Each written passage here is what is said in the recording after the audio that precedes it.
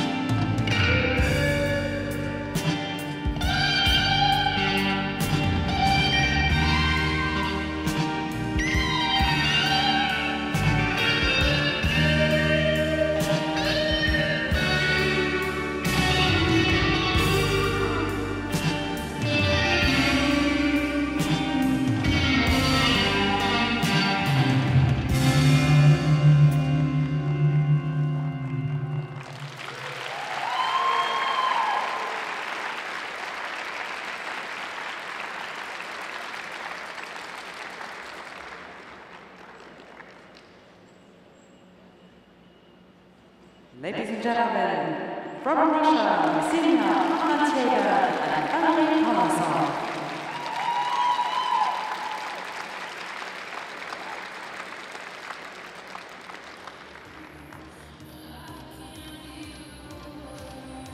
Well, another excellent team. The difference between this team and their colleagues who just finished Apollinaria and Dimitri was this team had stronger technical, uh, single elements, individual elements. However, they don't have the seasoned quality of all the pair elements. They're good, no question, don't get me wrong, absolutely excellent, but not the same quality at this point of their development. we'll take a look. Here's the triple twist. It's a level three. Nice catch, hands at the side. She doesn't touch. 1.71 positive GOE. That's quality. There's the throw triple flip. Good save on her part. Not a major save, but she read that, rode that edge well. There's the tr- triple Salchow, Euler, and double Salchow for him. But those and these triple toe loops are really nice. So that will gain some points for them over their colleagues. Go triple loop. And that's where she just hung on. That's good save. Not quite the quality yet. Group five reverse lift. Let go of the hand, grab the hip. She grabs the skate. It's got a one hand. Group three, actually. Group three reverse lift. 1.51 positive GOE. Quality added points for quality. Yeah. And there's the ending pose. Both very strong teams. You'll see a good score here. Probably not a score quite that of Apollinaria and Dimitri yet, but two solid teams.